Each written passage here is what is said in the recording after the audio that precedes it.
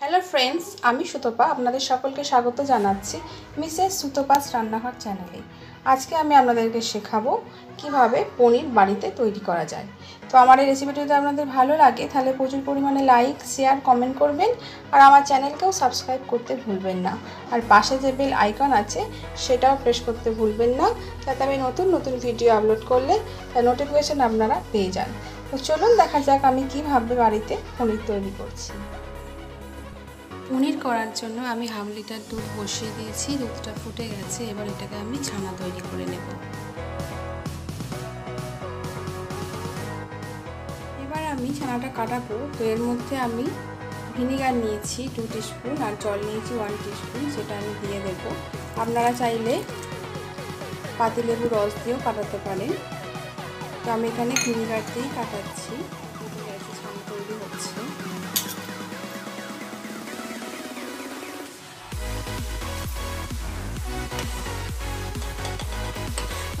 সুন্দর ছানা তৈরি হবে।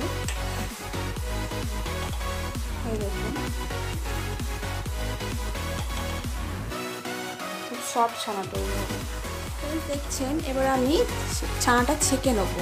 তো তার জন্য আমি কি করেছি, একটা স্টেনার নিয়েছি, তার মধ্যে একটা সুতির কাপড় বিছিয়ে দিয়েছি, তার মধ্যে আমি এবার এটা দিয়ে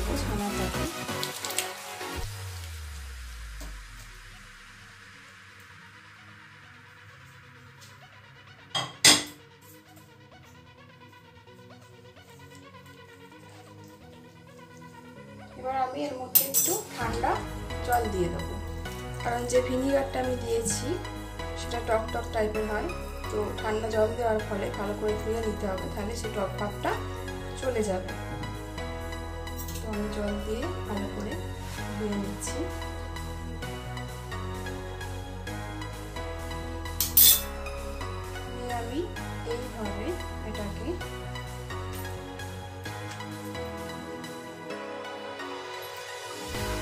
চেপে চেপে চেপে চেপে যে জলটা আছে সেটা অবশিষ্ট জলটা একটু। এভাবে আদেশ আছে, চাপলে বেরিয়ে যাবে।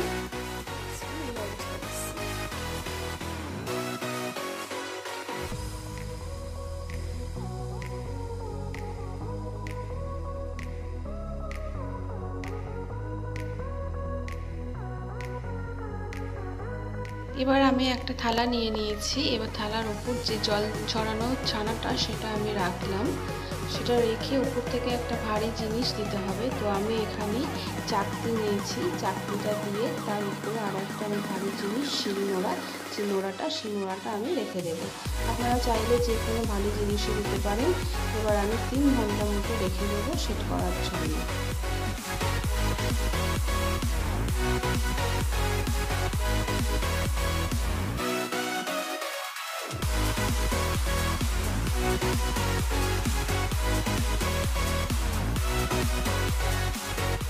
তো তিন ঘণ্টা হয়ে গেছে, এবার এটা আমি খুলবো, খুলে আমি চেক করব পনির হয়েছে কি না তো এটা আমি খুলে নিচ্ছি চাকরিটা খুলে আমি পনিরটা দেখছি।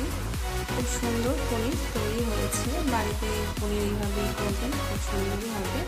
তো হোমমেড পনির রেডি এবার পনিরটাকে আমি ছুরির সাহায্যে পিস পিস করে কেটে দিচ্ছি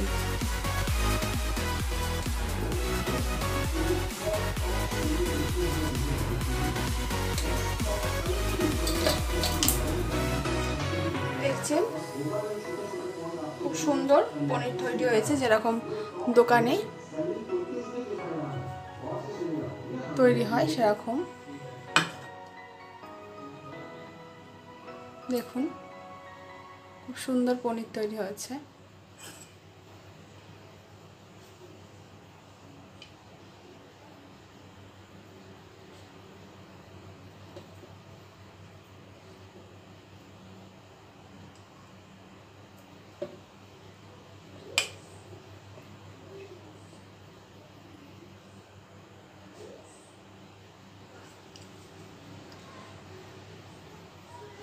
পনির রেডি ফ্রেন্ড দেখছেন হোমমেড পনির তৈরি।